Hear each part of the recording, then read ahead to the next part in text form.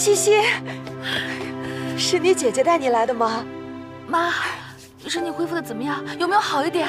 手术做的特别成功，恢复的也特别好。哎，我已经能下地走了。哎，别别别，来来，就是医生啊，让我多卧床休养。这次啊，多亏了锦溪。妈，安安在帮你办出院手续，一会儿我们就走。妍希啊，你和锦溪怎么了？